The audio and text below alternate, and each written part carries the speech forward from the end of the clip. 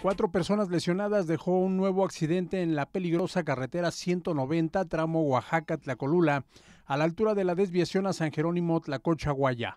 Un taxi foráneo y un vehículo particular participaron en el percance.